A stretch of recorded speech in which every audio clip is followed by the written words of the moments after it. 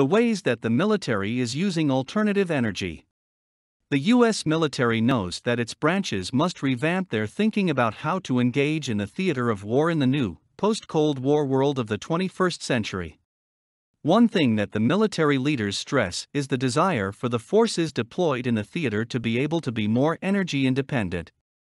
Currently, the U.S. military has policies and procedures in place to interact with allies or sympathetic local populaces to help its forces in the field get their needed energy and clean water when engaged in a foreign military campaign.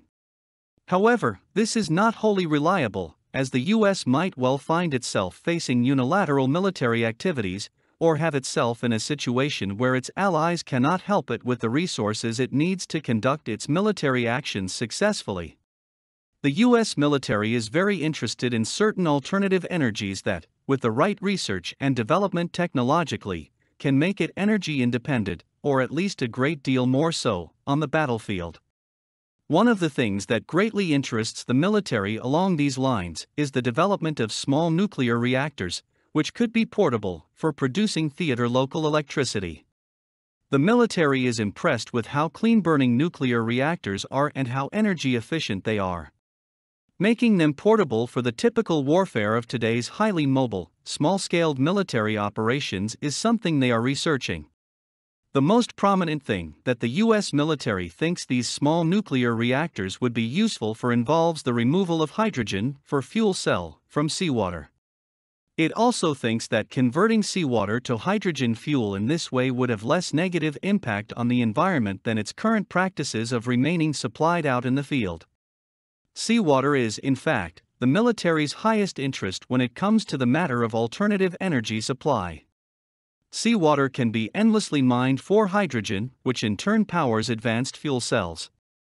Using OTEC, seawater can also be endlessly converted into desalinated, potable water.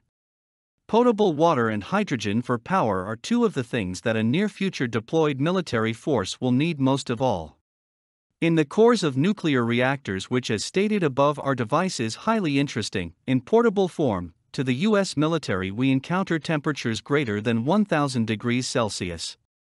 When this level of temperature is mixed with a thermochemical water splitting procedure, we have on our hands the most efficient means of breaking down water into its component parts, which are molecular hydrogen and oxygen.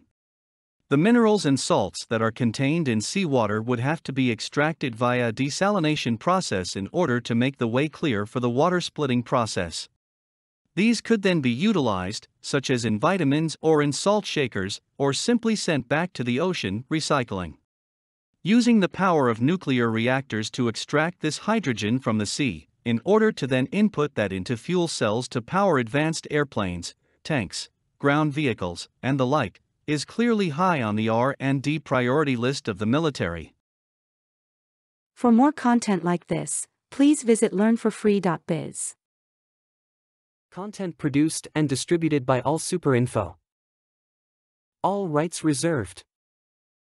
Discover the proven formula for automated sales and success that you can apply to your business in under 30 minutes. Reserve your seat at allsuper.info/webinar.